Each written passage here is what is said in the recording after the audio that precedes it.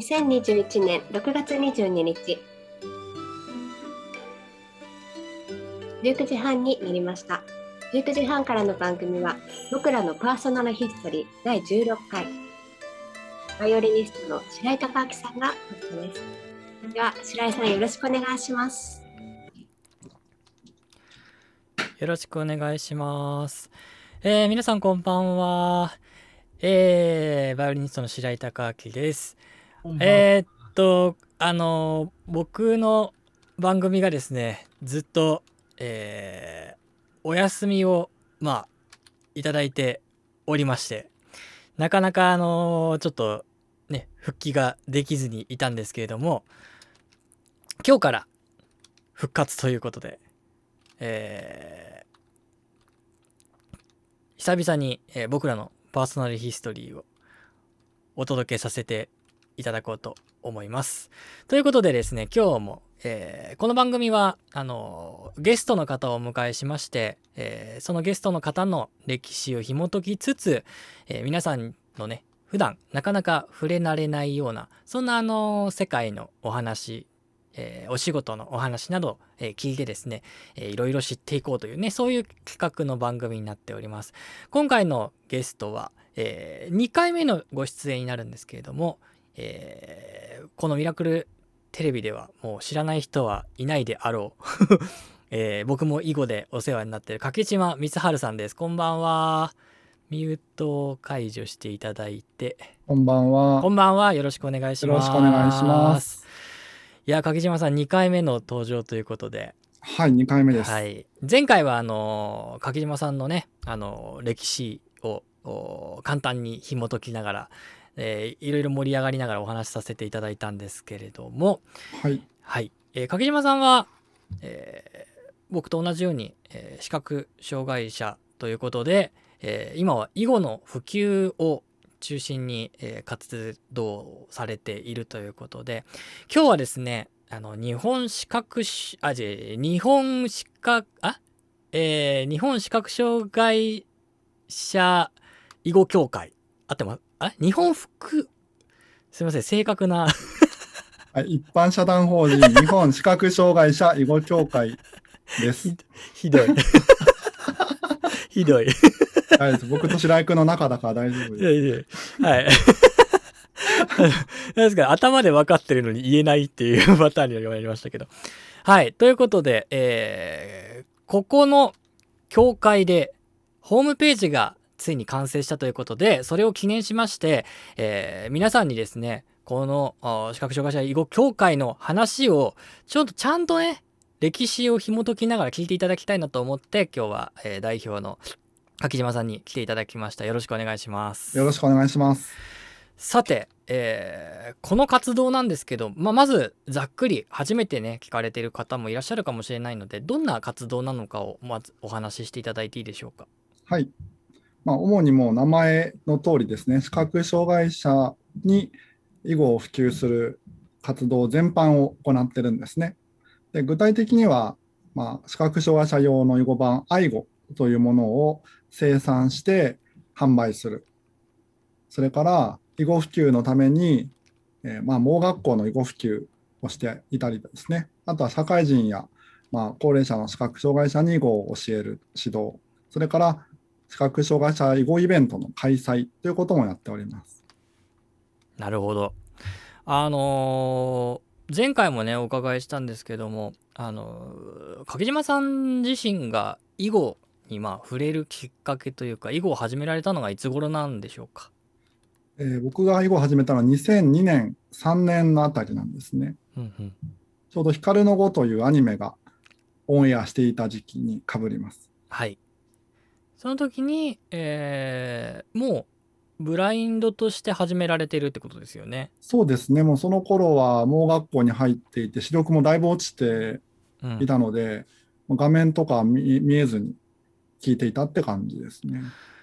あのーまあそのその時はもちろん囲碁協会っていうその日本視覚障害囲碁協会というようなものはなかったわけですかねその時には。僕のこの団体名のうんものっていうのは全くなかったはずですね。似たようなというかとね、まあ調べると団体はいくつかあるんですよ。なるほど。あのーそれでも視覚障害者の方が囲碁を打つという文化というかそういうものは一定の幅でこう広がってはいたんですかね？そうですね、僕はその時には全く知らなかったんですが、関西を中心にうんうん。視覚障害者囲碁を打つという活動がやっぱりあったあったようですね。なるほどなるほど。そこでまあやられて、まあのめり込んで、うんえーみるみるうちに、えーね実力を上げて。いやいや、みるみるうちじゃないんですよ。これもいろいろあそうなんですか。苦労はあったんですよ。まあ今日はそういう形でですね、あの、柿島さんの、まあ、プライベートというよりは、囲碁の活動、そして囲碁にね、こう、触れてきたというところにスポット当てて聞いていこうと思うんですけど、まあ、早速、このね、流れですので、あの、囲碁を始めてみて、あの、どういう、どういった形で囲碁をね、やり始めて、そしてどんなところが苦労したのか、ちょっとお話聞いてもいいですか？はい。まあ、まず囲碁を始めるには5番がないといけませんよね。ですね。僕らだとやっぱり普通の5番だと石が動いちゃいますし、はい白黒判別もできないのでえ固定をした固定式の囲碁盤というものを使いますよえうんうんね。うんでその時には僕はまだ愛碁っていう碁盤にたどり着いていなかったので、うん。はい。えー、とあんまりこう囲碁盤に見えないんですけどこう碁盤ベニヤ板に361の穴が開いたはい。碁盤を使って初めは囲碁を始めたっていうあのー。碁石がキノコみたいになってるやつですよね。そうですそうです。そうそうそうそう僕もあのやらせていただいたことがあってあれあのまあこの後その愛護の話になると思うんですけどうん見た目的にはあのしその健常者その請願者の方々が普通のこう囲碁を打っているものにあの近いかなって気はするんですよね。あのふ雰囲気というかう打ってる盤上に打ってる感覚碁石をこう置いてってる感覚っていうのは。はい。だからなんかあのー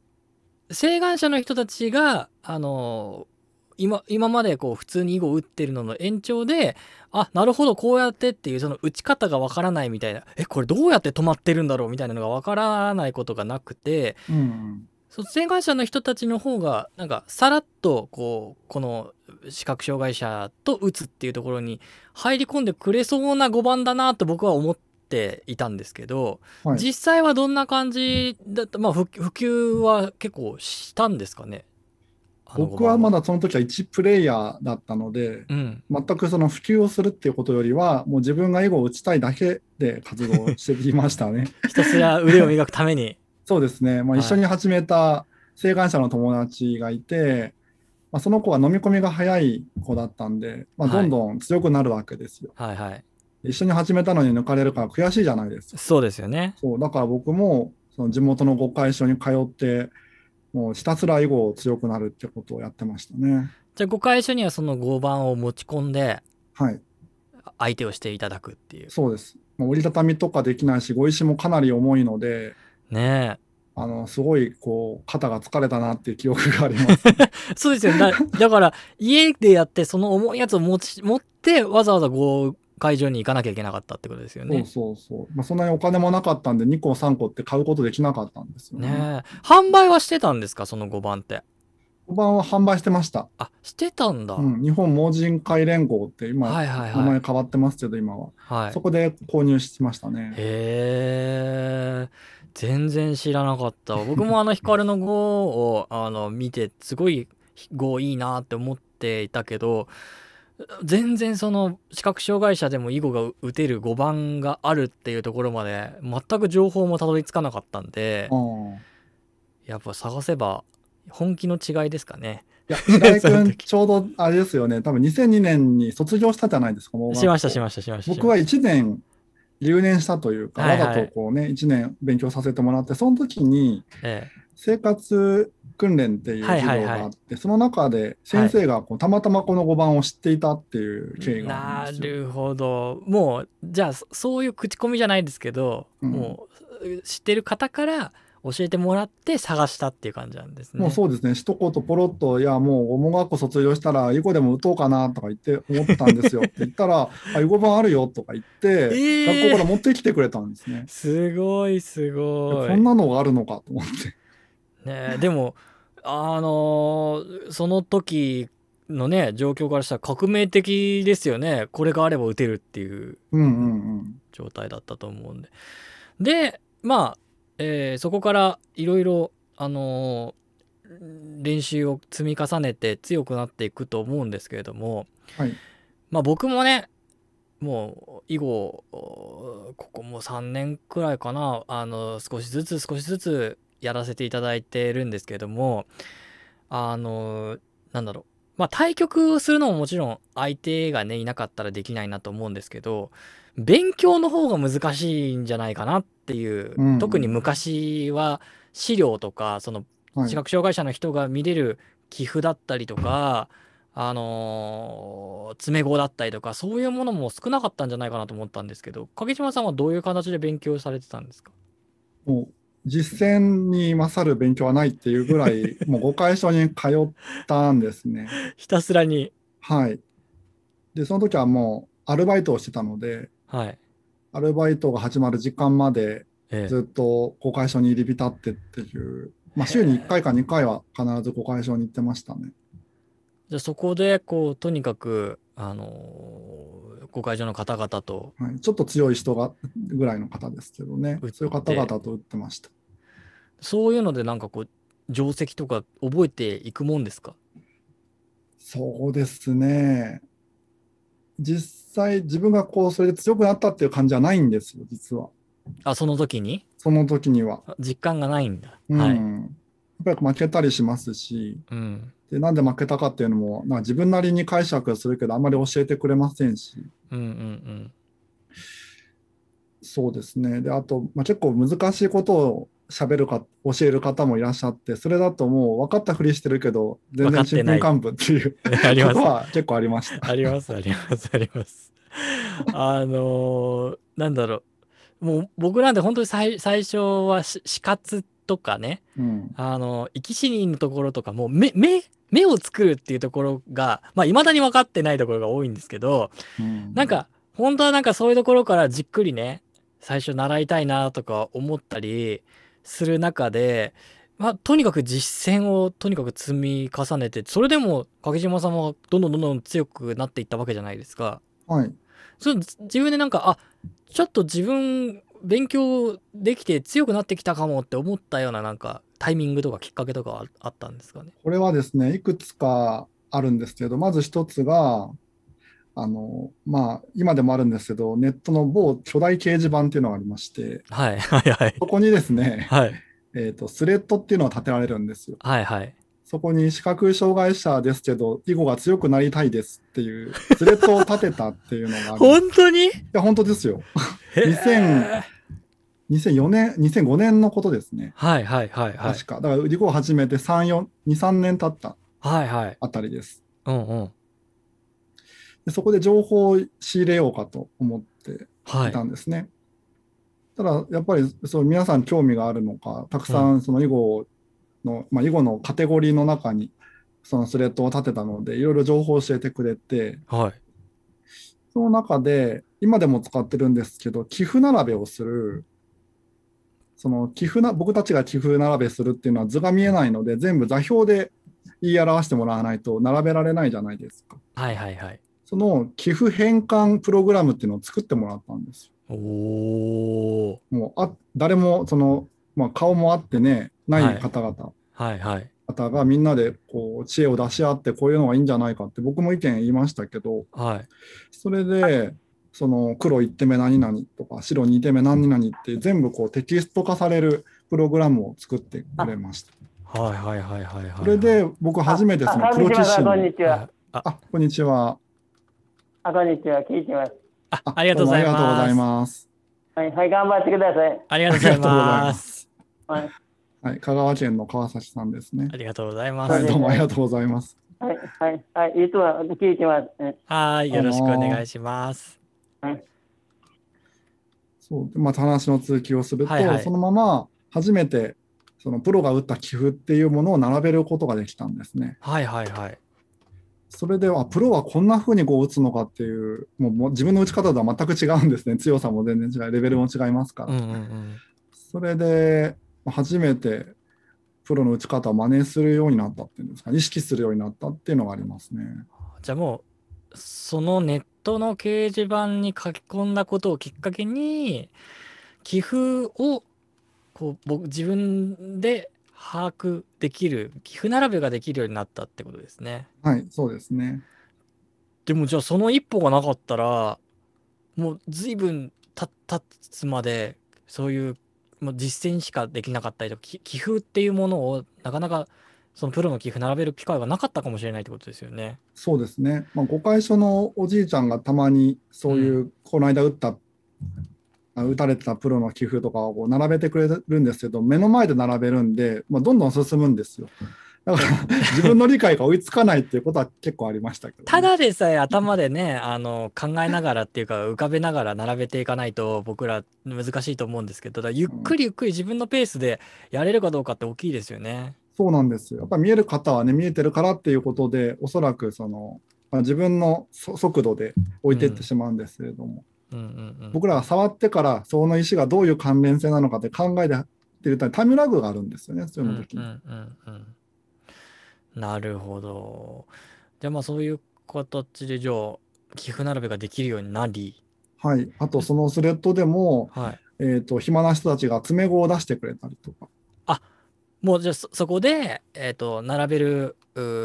順番とかをテキストにして出してくれるってことですか、テキストにもなってますし、図で表してくれるんで、その図る図を一個ずつこうカーソルで、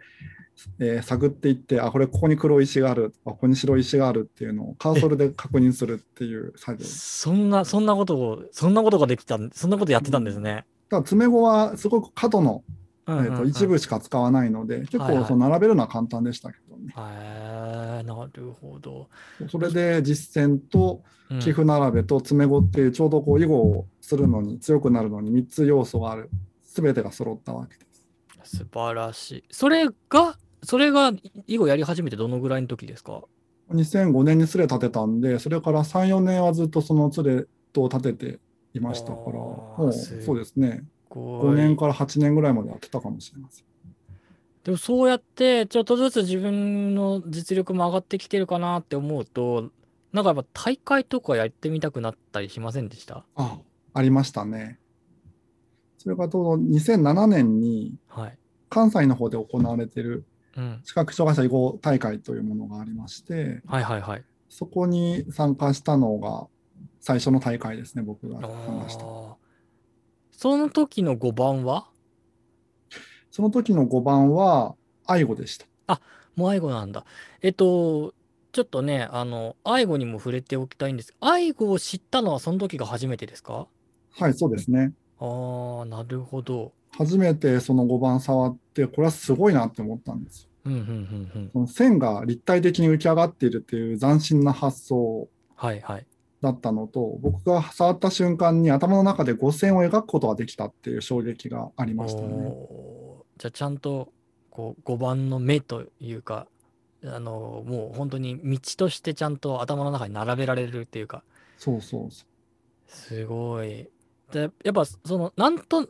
あの僕もさっきも言ってたみたいに穴の開いてる5番だと線をなかなか意識しづらいですよね。う。そうなんです。あれ、買ったばっかの時には、穴と穴の間にちゃんと線が書かれてるんですけど、うんうん。触ってると、あれ、インクで消えちゃうんですよね。あそうなんだ。そう、だからもうしばらく使ってると、ただ穴が開いた、紅開いたっていう。そうで。すよね。だからなんか、て点を意識はできるけどなかなか線を意識ねこうみ道っていうところを意識しづらいのかなっていうのはね僕も並べてて思いましたけど、そういう意味では愛護はねかなり、えー素晴らしい5番だなと思いましたけれども、そこで初めて愛護に触れてもう愛護はじゃあ関西とかでは普及してたんですか？それがですね、まあ、その、僕が触った愛護は19路盤のみだったんですね。はい。で、9路盤とか13路盤とか、その小さい5番はなかったんで、うん。えっ、と、あんまりこう、打つプレイヤーがいなかったっていうのがありますね。うんうんうんそれうん。と、あとその碁盤自体がですね、金型がもう古くて、うん。それ以上、この19キロ版の金型を生産できないという状態だったわけです。はいはい。だからこれ以上普及ししようとしても、在庫が限られてるっていう。商品がないから。そうそう。でプラス、碁石も足りないと。ああ、い碁石も碁。石でね、金型が必要ですから。石も特殊ですからね。そうそう。はいはいはい。ってなると、まあこ困ったなと。でも、あの、その時、掛島さんは手に入れたんですか？実はですね、まあ、ちょっとお願いをして、はい。えっ、と、その在庫の一つ譲ってもらったという、あなるほど、えー東京に持って帰ってきたんですね。なるほど、なるほど。はい。で、使ってみて、やっぱりすごいなっていうので、まあ、このままではいけないと思ったんですかね。そうですね。その時に、まあ、金型が朽ちてないよって言われて、うん。まあ、いつか、これをね、せ再生産できるようにしたいなっていう気持ちはありましたけど、全くそういうコネとかつってはなかったですから、うんうんうん。まあ、ただただ、あいいものもらったなっていうところで、これでますます勉強がはかどるぜみたいな。驚いたのは5回所で今まで打打たなかったおじいちゃんとかがね、うん。打ってくれるようになったんですよ。え、今まではその穴の開いた5番で打ってたのに、その時は相手にしてくれなかったおじいちゃんたちが、そうそう。それちょっと背後になったら面白がって打ってくれるようになったんですかね。あのね、やっぱ線がね、ある分、囲碁に見えるらしいんですね。そうなんだ。穴が開いた5番はなんかね、僕はちょっとこの5番打ちにくいねとか言って、あんまり打ってくれなかった人が多いんです。へえ。なるほどね。うん、なんかあの、愛護だとこう、はめ込まなきゃいけないじゃないですか、うまく。はいはい。だなんかあれがこう、う、こう囲碁いご一緒こう打ってる感覚があんまないのかなみたいなのが、そうそうそう思って、確かにね。あんまりこう、慣れ、慣れてれば慣れてるほど、あの、碁をこう打ち慣れてる人ほど、なんか違和感があるのかなと思ったんですけど、やっぱ線が大事なんですね、線が。そうですね。やっぱり縦横の線がある方が考えやすい、見やすいっていうのがあるんでしょうか。なるほど。うん面白いな。で、えーそのままその5番を手に入れた柿島さんはまた修行をしつつ、はい。ここからどういう動きになっていくんですか？ここからですね、まあ、いくつか枝分かれするんですけど、その5回所の石庭さんにはい。囲碁を習うようになったりとか、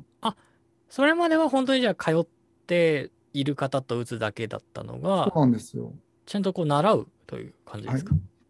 あの実はその、まあ、ベニヤ板でこう打ってる時に、うん。えーあまり打ってくれる人がいなくなっちゃって、はい。で、5回所転々とした時期があるんですね。はいはい。で、愛護になって、その、まあ、5回所にも通いやすくなって、うん。で、たまたまその、通ってた5回所の石庭さんがすごい教えるのもうまいうん、うん。先生だったっていうのがありまして、で、直接先生にこう、囲碁を習うという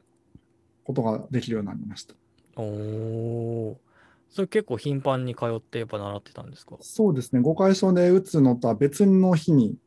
直接習うっていう時間を作ってくれましたね。じゃあもうレレッスンっていうか。そうレッスン、レッススン、本当に。えー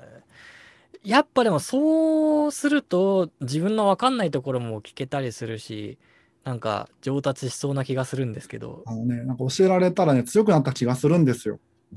しますよね。そうですよね。そうですよね。そうですよね。なんか漠然と勝ったり負けたりしてるんじゃなくて。そうそう。あと教えてもらった技とか使いたくなるんですはいはいはい。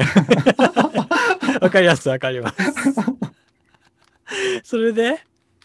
それもあったりですね。あとは、あの、これも本当に縁なんですけれども、たまたま関西に僕が出てた大会に、東京からもその見学に来てた囲碁のインストラクターの方がいて、はい。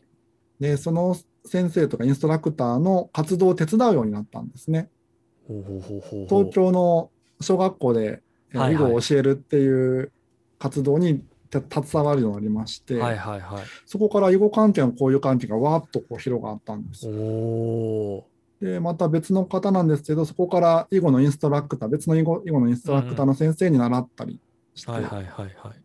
でそういう方々はもうそういう囲碁を教えるのも得意ですし、うんうんまたネットとかそういうデータにも詳しかったので、うん。ほとんど通信教育で自分の打った棋譜をこう先生に送ると、それを添削して帰ってくるっていう。すごい。なんか赤ペン先生みたいですね。そうそう、赤ペン先生なの。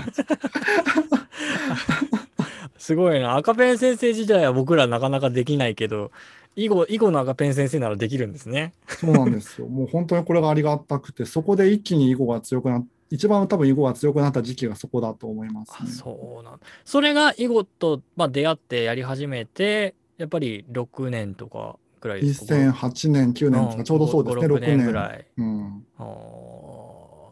じゃあやっぱりこうやり始めてパパパッと強くなったわけじゃないんですね。本当行き当たりばったりでいろんな人に会ったりまあしましたしね。でも そそのね学校卒業した時に囲碁をもちろん始めたとはいえうん、囲碁でなんかそそのなんだろうこここまでというかその囲碁の活動をするようになるっていうのは最初は別にもうそれを目標にしてたわけじゃないですよね、まきっと。全く思ってませんね。ですよね。もう自分が囲碁を楽しむだけうんでしたね、うんうんこれそこまでは。じゃあやっぱこうそれがまあそのかなんですかね普及活動だったりとかその自分が囲碁囲碁のなんていうんだ世界にこうただのプレイヤーじゃなくて入っていったのはやっぱその学校とかの囲碁を教えるのに参加したりとかそういうところがやっぱきっかけってことですかね。そうですね、それも確かにありますね。まあ、目が見えなくても子どもたちに囲碁を教えることができるんだっていう発見は確かに僕の中ではすごく驚いたことですし、あとはその碁会所も、まあ、しばらく行ってたんですが行かなくなった時期があったんですね。はいはい。でその時に実は囲碁を打ってた団体っていうのがあの日本福祉囲碁協会というはいはい。団体がありまして、えー、と直接誤解所とかに行けない体の、ね、悪い方々とか、あと、はいそういう老人ホームとか施設に入ってる方々のうんところに行って囲碁を打ってあげるという出前のような囲碁をや。ってる団体がありまして、そこで僕は利用者として最初、囲碁を、うん打ってもらってたというはいはいはいこ。とがあるんですね。うんそれもちょうど2008年とか7年とかそのあたりなんですが、うん。でその方々っていうのは、やっぱり囲碁が大好きだからボランティアができるんですよね。うんうんうん。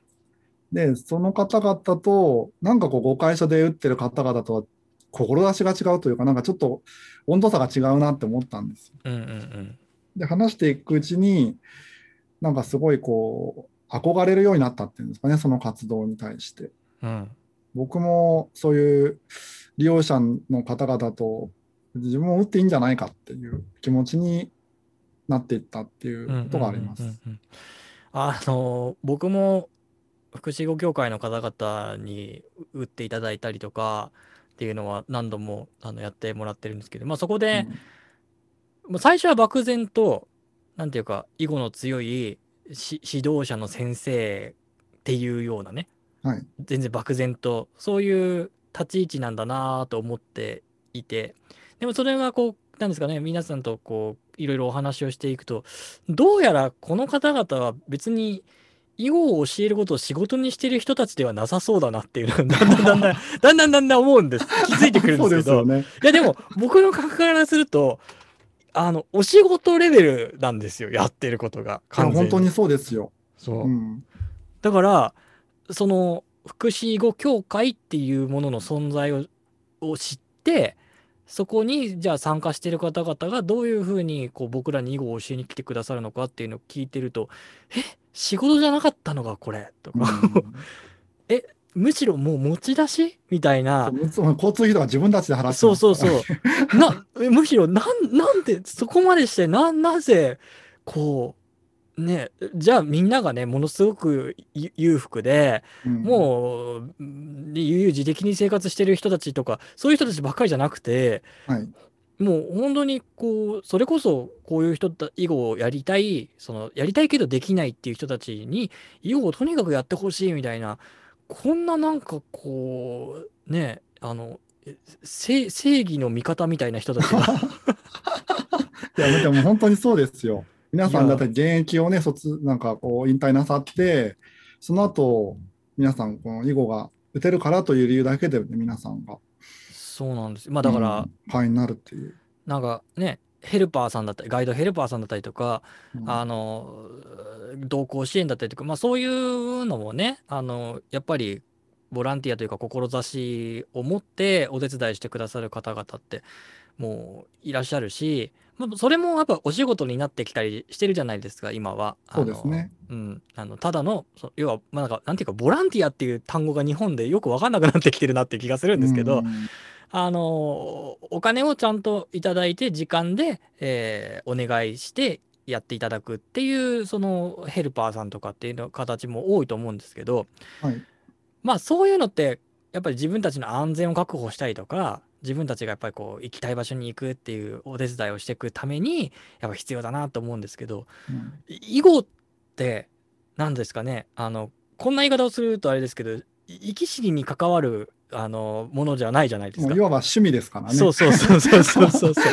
むしろだからそそこを習うところこそお金を払わなきゃいけないっていうかお金をもらっていいとこじゃないかっていうのは僕はすごく最初思ったんですけど、うんでもそうじゃなくて本当に手弁当であのねただただ教えに行くだけじゃなくてそれこそその僕らの今だったら大会はい。組織してあの運営までしていただいたりとか、うんそんなところまでこういう方々がやってくださるっていうなんかよくわからないぞ。このね、福祉護協会立ち上げた岩本薫先生というはいプロの先生がいて、その方々が世界に囲碁っていうね、テーマで、本当に自分の資産も投げ打って、えー、と南米とかに自分の、うんまあ、囲碁の建物を作ったりして活動してたんですよね。うんうんうんでそういう多分先生のあ活動背中を見て会員の方々も刺激を受けて頑張って始まったっていう僕はそれを思ってるんですけれども。いやだ本当に素晴らしいし僕らもうん。それ、だから僕なんて最初からあの最初に囲碁を習い始めたところがもうそういう方々がいらっしゃるところに行けたのでうん。なんていうかすごいめもう恵まれてる状態の時はにい。参加させてもらえたから、本当になんて当たり前に入っちゃったけども時僕が経てばが始めた時は まずその囲碁を打つ、まあ、視覚障害者は囲碁打てるのって言われて断られてるところからですそうですよね。だから、本当に、なんだろう、もう、って言ったって、10年くらいですよね。僕がやり始めたの多分2018とか、うん19とか、おそらくそのあたりだと思うんですよ。そうすると、掛島さんが、えー苦労して、やっと、その、なんですかね、あの、福祉囲碁協会とかに出会ったところから、10年10年ですね。とかでしょ？2008年だと換算。そう。だ10年ってまあ一昔っても言いますけどそれでもその10年で僕がここにそその福祉囲碁協会も含めてですけど囲碁を見えない人でもブラインド囲碁っていうのが打ててそれを普通に習いに行けるっていう状態に10年なってるってことじゃないですか一応形として。そうですね。だそれがね今こうやって話を聞いてても その10年前の柿島さんのスタートラインからしたらものすごいことだなと思うわけですよ。いや、本当そう思いますよ。ねうえん。えだってもしいこのこれが10年前倒し10年、15年前倒しになってたら柿島さんも最初からそこに入れたわけじゃないですか。そうですね。でそしたらもっともっとあのなんですかねスムーズに進めたのかもしれないしでも逆にそこのプロセスがあったから柿島さんは強いのかもしれない人もいろいろ思いますけどうんうん。この10年っていうのがやっぱりその視覚障害者にの人たちにとってもこの囲碁の普及っていうのが広まったんだと思うんですがそこに柿島さんがえっ、と、えー日本視覚障害者囲碁協会っていうものを立ち上げて普及に動き出したのはいつ頃なんですかね？えー、かつあこの協会自体をうん立ち上げたのは立ち上げ2015年なんですよ。じゃあ、えっ、と、その、えー、2008年、9年とか、そのぐらいから、7、7年くらい、6、7年経ってるってことですね。そうなんです。まずその2009年に僕が日本福祉護協会の会員になるわけです、ね。はいはいはい。利用者から会員になって、はい。自分も囲碁を教える利用者に囲碁を教える立場になって、はい。そこから、まあ、日本展示図書館というね、僕らがよく使う施設なんですけれども、うんうんそこに囲碁のカルチャースクールが2011年からできまして、うんでそこの講師として僕が招かれて囲碁を教えるようになりました。はいはいはいはいはい。で、その関係もあって、視覚障害者がそこでわっとこう、囲碁を打つようになるわけですよね。うんうんかあまあ、東京の方では特に。で、ある時ね、日本福祉語協会の新年会がありまして、はいはい。新年会にいつもゲストを招いて、歌を歌ってもらったりとか、なんかちょっと芸を披露してもらうとか、落語があったりとか、はいはいはい。まあ、するんですけど、はいその時に歌を歌いに来てくれたのが、このミラクルテレビの代表の北谷正道さんだったんです。おおなるほど。で、北谷さんとまあそこでお会いして、うんうんまあ、実は本当はさ再会なんですけれども、はい。まあ、そこはちょっとお話は置いといて、でそこから北谷さんと僕がまたつながるようになるわけですね。うんうんうん。で北谷さんもすごくいろんなイベント企画をなさる方で、えその頃から2000、ああの時は2011年でしたけれども、え。うん。あの日本各地でね、囲碁のイベント、町おこしみたいなことをしてるわけですけれども、うんうんうん。でその時に、えー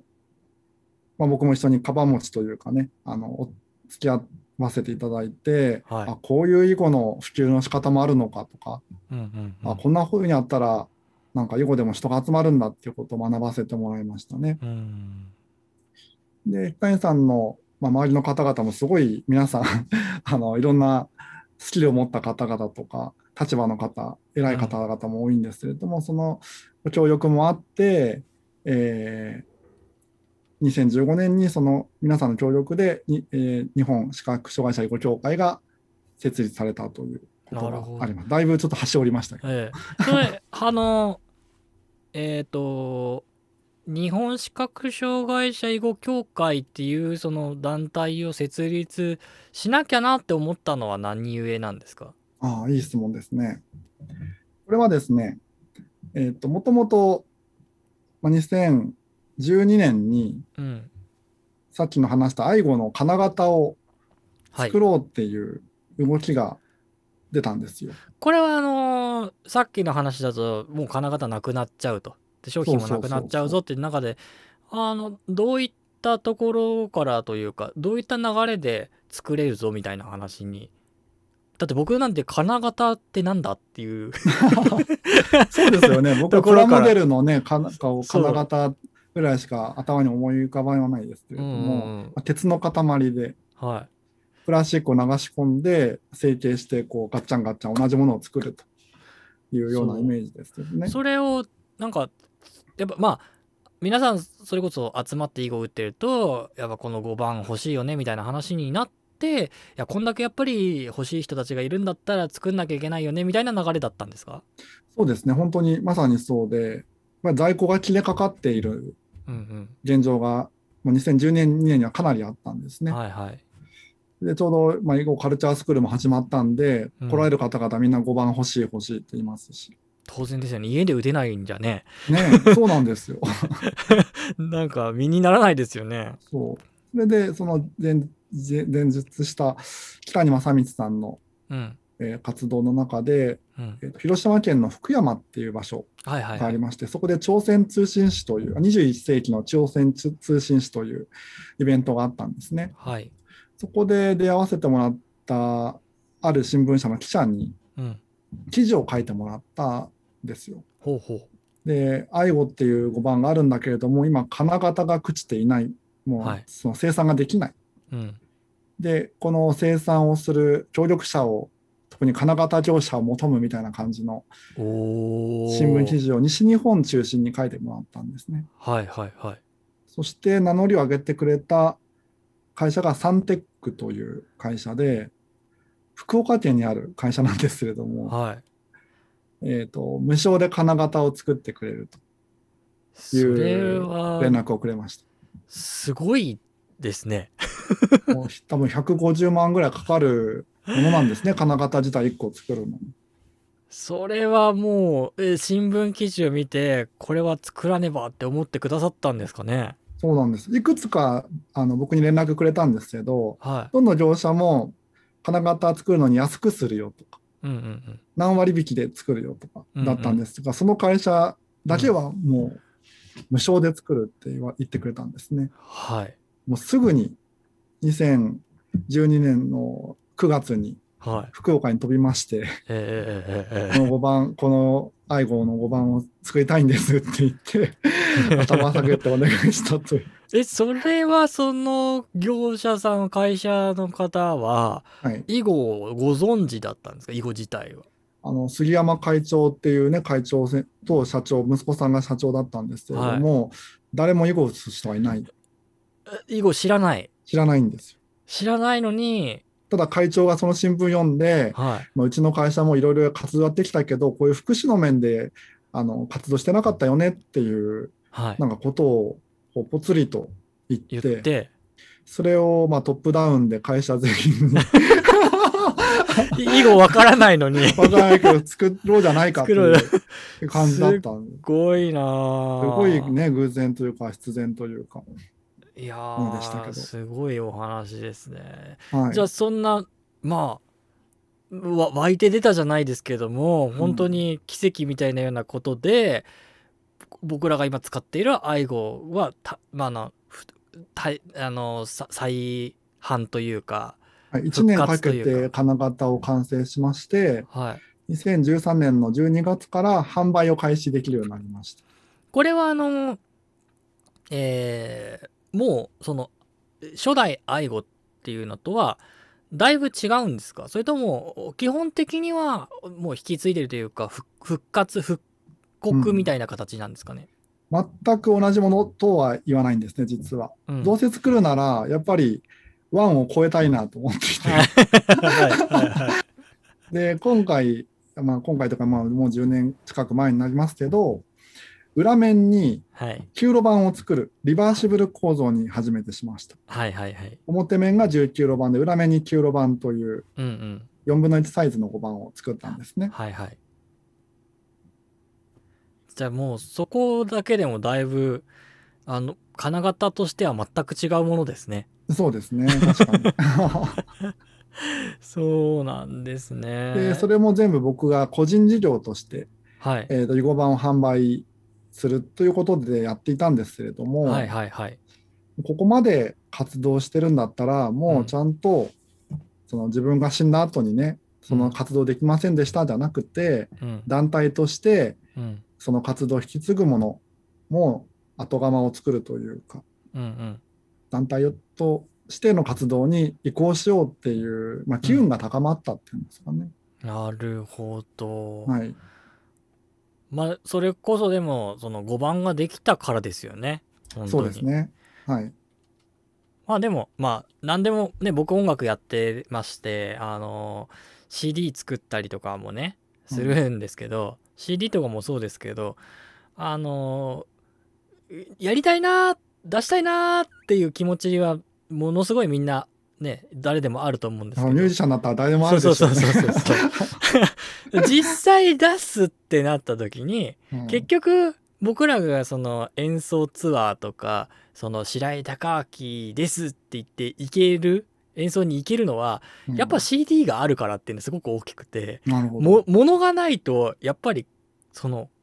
何ですかふ普及というかうんあの知ってもらって広めて皆さんに使ってもらうっていうのはやっぱり思いだけじゃなくていや物がないとダメだなっていうのはすごくあってなるほどね。例えば在庫がなくなった時にでも CD もそうなんですけどいくらいい CD でもやっぱり廃盤になっちゃったらもう買えないわけですよどこでも。はい。でもそれがやっぱりこううんとふ復刻版だったりとかあまりにもいいね版だからまた再ね、えー収録したりとかやっぱそういう風になっていくと良かったものがどんどんどんどんこう、えー受け継がれていくわけじゃないですか。うん。うんだそういう意味でこの愛護が出来上がったっていうのはすごく大きいしそこで止まらずにやっぱこう教会っていうものにして今後の普及活動に活かせるっていうで普及活動どうするのってなったら愛護を持って愛護をこうどいろんなところに、えー増やしてもらえるようにしていくことが大事ってことですよね。そうですね。うん、普及活愛護があるから、もう学校にこう囲碁を碁盤を寄贈するという大義名分ができできて、えええええで、まあ、寄贈してもらえるんだったらっていうことで、もう学校も受け入れてくれるというえ しかもそれでね。さっき、いやいやさっきの話じゃないですけど、その場でね、やって、あ、面白かったで終わっちゃったら、やっぱ結構意味がないなっっていうか、広まりなかなか広まりにくいですけれどもやっぱ学校にあの5番があるってなるとみんなね遊びでもちょっとやろうっていう感じになったりしますもんね。そうですよね。うんうんうんで基本的にはじゃあ、えーこの教会のお活動としては囲碁愛碁をお持っていろんなところにその5番と囲碁ブラインド囲碁っていうものを広めるっていうのが活動の根幹ですかね。そうですね。もうこの僕のこの団体の定款にも書いてある通りで、うんうんそれはすべて視覚障害者ご普及のための活動になっております。で今回あの、えーホームページを、えーはい完成ということで、はい僕はあのむしろ小さいのでもあれですけどなかったんだなっていうことにびっくりしたんですけど。は 僕もびっくりしたんですよ。い。なんで今まで作らなかったんだろうって、作ってから思ったっていう。なんかあれですよね。すごいそれこそクラウドファンディング始めましたとかだと、はい。ああ最近やっぱみんなやってるしなそれでやり始めたかって感じなんですけどはい、ホームページってなかったんだなっていう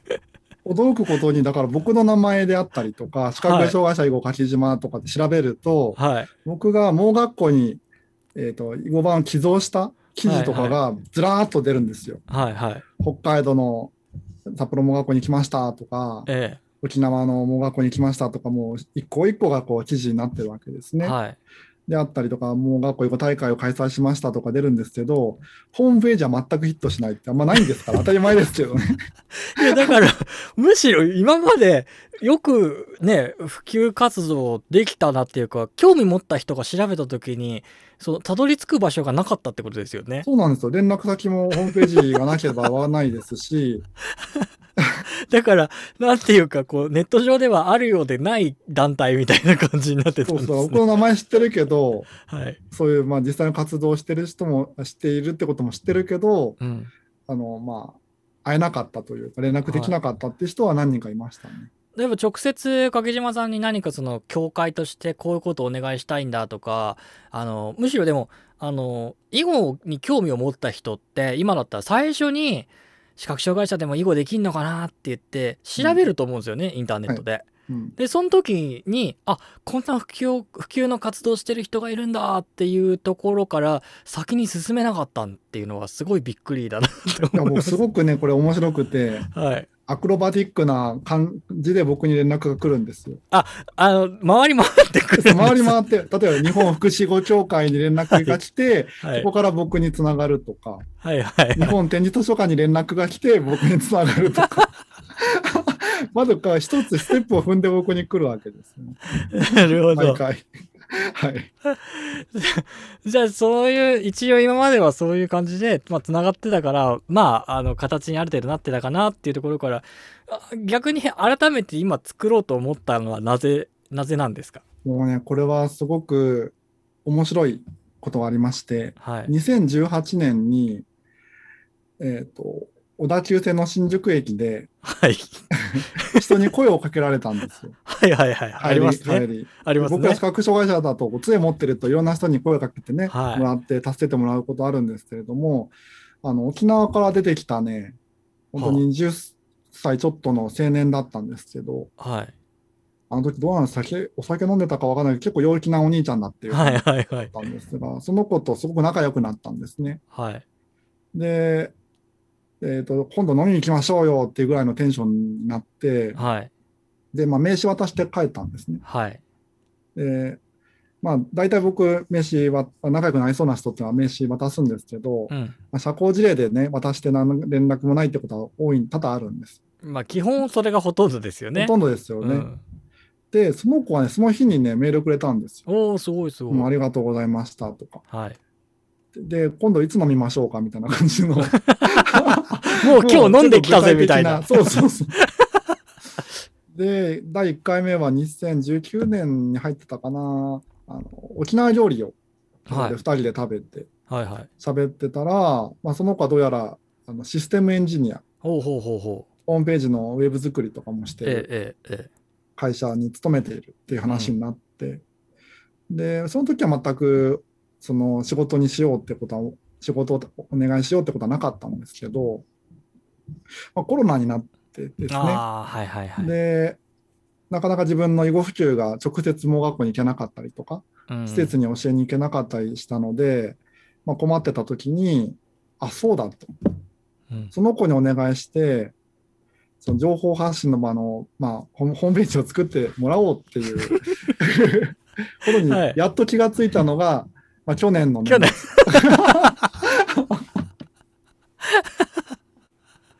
すごいな。ま僕がやってだ、から2年経つわけですね。すごい。でも、彼も連絡来てびっくりしたんじゃないですかね。何回かその2020年は飲んでなかった、2019年、20年頭ぐらいまでは一緒にああ、飲んだりとか。飲んでたんだりしてたんですけど、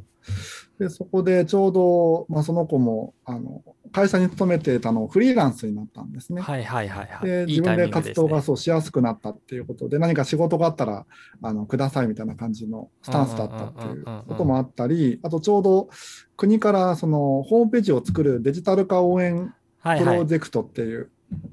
ものがあって、はいそれで補助金が出るとはいはい。いうタイミングも重なったんで、これは作った方がいいだろうと思ったんですうんうんね。うん。で、手掛け、着手したのが2021年、今年の2月からです。あのー割と最近なんですね、動き出したそうなんです。そうなんです。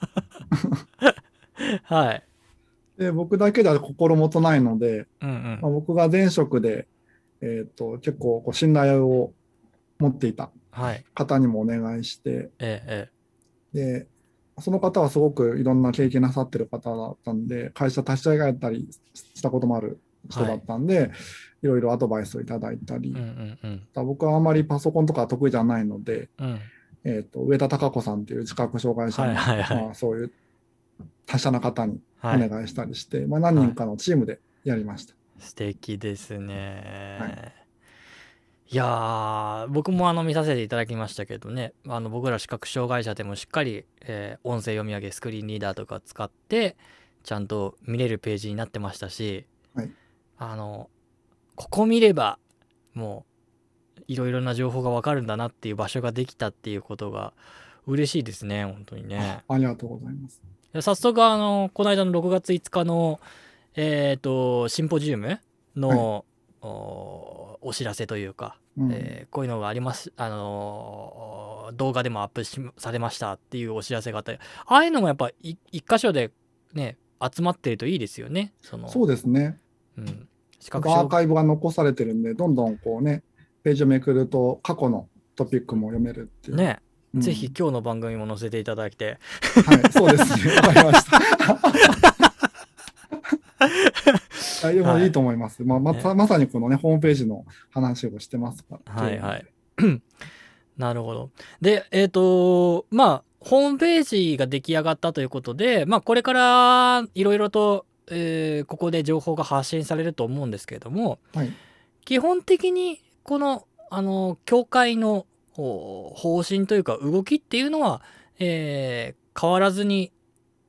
今までと同じというか、えースタンスは同じ形で進んでいく予定ですか？そうですね。活動自体はもう視覚障害者への囲碁普及が中心ですから変わらず行います。だからあのホームページができたからといって何かこう新しいことにどんどん進んでいくっていうわけではない？そうですね。まあ実際拠点ができたっていうことと、はい。腰を落ち着けて活動に取り組むっていうことができたっていうことですかね。でもこれであのーえーおお手伝いというかわ自分もね、あのー参加したいっていう人とかも団体に参加したいっていう方ももしかしたら増えていくかもしれないしやっぱりいいですよねホームページがあるっていうのは。ね、早速いろんな連絡がありまして、あ今までお知らせきっとフォームっていうのがあるんですよ。今まで逃しすぎてたんですよ絶も対う。びっくりしたのが、もう取材の連絡とかが来て、いや、だから、今、今まで逃しまくってたんですよ、きっとね。そう思いました。ただ、僕は、あの、自分でも思うし、これはもう昔から言われたことなんですけど、はい。あのチャンスをやっぱ掴むためにはやっぱ準備が絶対必要で、あの、まあ、取材とかもそうですけど、あれば、ね、こうかそこに応えられるわけじゃなくてやっぱりしっかりしたこう土台とねあの芽を出すまでの土の中の時間がものすごく大事なんだっていう話を僕もすごい昔からされていたんですけれども、そういう意味ではあのこの囲碁普及に関してもう10年くらいですか？10年以上か。ずっと携わってきてもう土台がしっかりできたところでホームページができてるんであのもう今取材が来ても全然問題ないというか、えー無駄打ちにならない全部捕まえていけんじゃないかなっていうふうに 思ういいいい方向に思いますねありがとうございます。実は先ほどもね、ラジオ、とあるラジオ番組の取材を受けたばかりなんですけれども、素晴らしい、それも本当にホームページの取材の方はこちらっていうフォームからええ。連絡が来てつながったというものもそれ。それもあのホームページが完成したっていうことの取材じゃなくて、はい。あれですよね囲碁あの視覚障害日本視覚障害者囲碁協会の活動についてのあの取材ってことですよね。いやそうですね。ですよね。まあ話の入りというか、うんえーと発見したのはその、まあ、僕が皆さんにメールを送って、はいはい。えーこういうホームページできましたっていうところの連絡が、まあ、その方に届いたっていう。ところありますけど、取材自体は僕の活動についてですね。いやだ窓口がやっぱあるっていうのはね素晴らしいというか本当ですね本当に大事なことなんだなって思うんで、うん僕も今ちょっと自分のホームページがね休止中で今ちょうど作ってるところなんでやば早く完成させなきゃって、えー今いいシステム今エンジニア紹介します。ありがとうございます。いい今話を聞きながらすごい思ってますけれどもね。あの、もうお時間もね、あの、経ってきましたけれども、迫ってきましたけれども、あの、最後に、えー実感としてというか、具体的にその、この10年、まあ、この5年、えーと、2015年からの、えー日本視覚障害者囲碁協会を立ち上げてからでもいいんですけれども、実際に視覚障害者の囲碁を打つ人たちっていうのが増えてるように感じられますか？あこれはもうイエスですね。ああやっぱり増えている。はい。確実に増えてます。まあ僕もねあの囲碁を始めた一人でもありますし柿島さんのね活動というか柿島さんの、えー開催している囲碁会とかにも参加させていただいたりとかしてるんであの本当に僕自身もこんなに囲碁に興味を持ってる人たちそして囲碁を始めて続けていいる視覚障害者の方が多いんだっていうのはすごくびっくりしてるんですけれどもやっぱりこれは若い人も結構増えてますよね。そうですね。僕も実は毎週土曜日、うん、中野坂上で囲碁教室を開いてるんですけれども、来られるまな方々、皆さん20代、30代の視覚障害者なんですね。いやーだからこうその世代が囲碁に興味を持つこともすごいなと思うしうんで視覚障害者の方々がそこでこう交流しながら囲碁をどんどんどんどん勉強して強くなっていくっていうなんか新しいこう風がまあふ、ね、昔の時代を僕らは知らないけれどもうん。でも僕が始めた時でもまだまだその若い人たちが少ないって言われてた時だったんであのそこからやっぱここ23年でどんどんどんどん増えてるような気が僕もしてるんでうん。なんかこれから囲碁のブラインド囲碁の新しい時代が来るんですかね？あの来ると思います。で、多分それを目の当たりにするのは、今度の視覚障害者の囲碁大会が東京であった時だと思いますね。あ次回のはい。これはレベルも相当上がってますね僕、この2年、3年で鍛えたこの社会人の視覚障害者が、あの本当に僕が驚くほど強くなってるんです。いやもう僕僕もう嫌ですよ取り残されちゃって取り残されちゃっていや逆ですよ。上たた倒す相手がいっぱいいるってことですいよ。やーもう本当にごぼう抜きしていくしかないですね。そうなんですよ。でも本当にあの皆さん実力を上げてらっしゃって、えー全国でも、ね、東京だけじゃなくて全国でもきっと今後増えていくと思うんでなんか楽しみですね。そうですね。うんえっとこのホームページであの拝見した時に、えっと、寄付もあの募られているということだったんですけれどもはい。これはどんな形で行えれば行えばどどういうふうにできるんですかね？はい。これはね、あの、2つやり方がありまして、はいえーホームページのご寄付のお願いというところをクリックしていただくと、シンカブルっていうホームページに飛ぶんですね。はい。でそこは、シンカブルというのは寄付サイトを運営する会社なんですけれども、はい。もうすごく簡単に、まあ、クレジットカードからの、うんえー登録をしていただくと、えー、と単発の寄付、もしくは継続寄付っていうのを選ぶことができます。お、あの、毎月。毎月送っていただくっていう継続寄付もあるんですね。はいはいはいはいはい。そこからあーすぐに登録していただくと、こう寄付がこちらに入るという仕組みがあります。うんうんうんうん。ぜひ、あの、本当に僕らにとってもだし、えー、以後、この間ね、起因のあので行われたイベントにも参加しましたけれども、やっぱり囲碁の力ってすごいなと思ったし、なんか、ああいう空気、あのがこうブラインド囲碁の世界というか人たちの中でももっともっと高まってでもう最終的には見える人も見えない人も関係なくあの同じように囲碁を打って打って楽しめるようなね時代が来てほしいなと思ってますしそのためにはやっぱこういう、えー日本視覚障害者ね囲碁協会だったりとかまあ先ほども出たね福祉囲碁協会の方々もそうですけれども、うん。あのこういう方々がいらっしゃって活動しを続けてくださることが本当にあのー一番、えー大事なことだと思いますのでその方々をねなんとか支えていただきたいと思うのでまあ寄付の方もお願いできればなと僕の方も思ってますので、ありがとうございます。えーぜひ皆さんあの検討してみてくださいそれからあの日本視覚障害者協囲碁協会の、えーホームページあの更新もあの頻繁にされていくと思いますのでこういう活動してるんだなとかですね、えーぜひチェックしていただいてあのーいろんな囲碁イベントとかね情報も出てくるんじゃないかなと思いますのでぜひ追いかけながらですね、えー楽しく応援していただければ嬉しいなと思ってます。じゃあ柿島さん最後になんか一言いいですか？最後にですか、はい。まあ、あの、ホームページが立ち上げた、立ち上がった後にこの後、このことを言うのはなんなんですけれども、はいまあ、できればですね、僕は早めにこの日本視覚障害者囲碁協会がなくなってほしいと思っています。ほというのは、今は視覚障害者が囲碁を打つっていうことがすごく珍しいことに思えられてますけれども、それがもう当たり前のう世の中になってほしいと思うんですね。うんうんうんあもうその視覚障害者の方々がこう打つのは当たり前だよねっていう世界になったら、僕のこの日本視覚障害者囲碁協会っていうのはなくてもいいはずです。それはもうね、それは見える見えないが関係なく、囲碁は対等だっていうことも証明されている時代になってるはずですからね。うんはい。それを僕が生きてるうちにできたら見たいなっていう、そういう願いがあります。